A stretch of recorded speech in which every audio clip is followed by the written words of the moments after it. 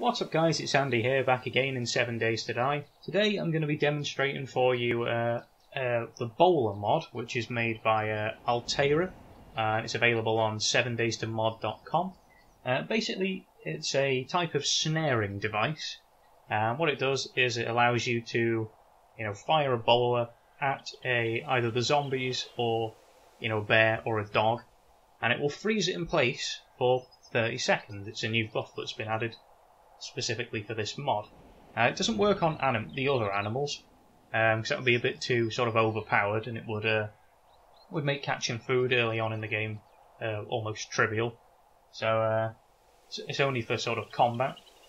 So in order to craft the bola, um, or the bola ammunition, all you need is two rocks and two plant fibers.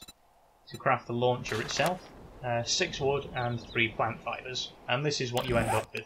Uh, it's based off the uh, off the, the wooden bow. Uh, there's also a second tier version of it called the uh, Advanced Bola Launcher, which is gated behind a, uh, a schematic. It's called the Bola Book, and can be found, you know, where where all the other schematics can be found. And once you have found that, you can craft steel bolas and the advanced launcher.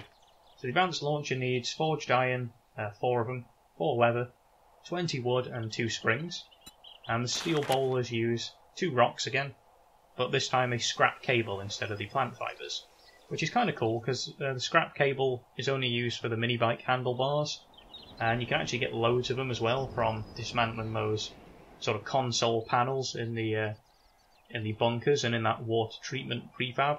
So you can actually end up with hundreds of these and nothing to do with them. So this is kind of a, a cool way to give it a use. Uh, so basically, I'm going to show you how it works in action. So if we spawn ourselves in a zombie, just a regular one, and we use the launcher, and we actually hit the zombie, that kind of helps. You can see she freezes in place.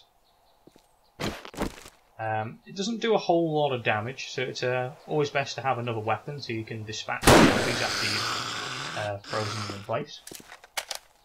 So, as you can see, that's quite effective. So, if we spawn in, say, small, small horde of zombies, we can actually a a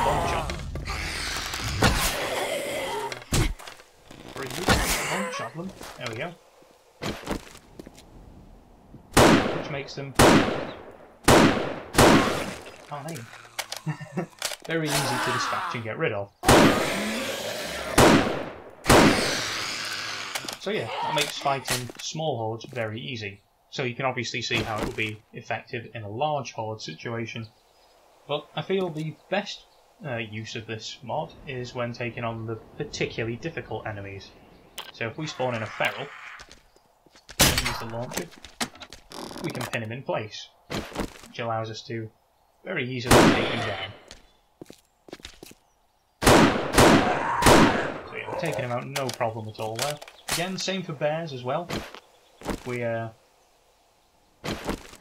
launch back out and spawn ourselves in a zombie bear, which is a particularly tough version of the bear.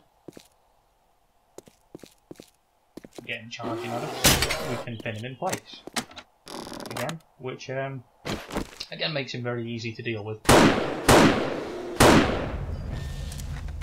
So yeah, it's a pretty cool little mod.